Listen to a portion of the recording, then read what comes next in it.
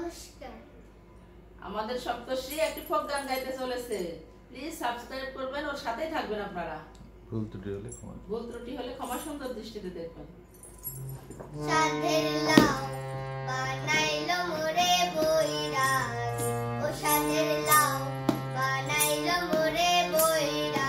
দেখবেন সাধের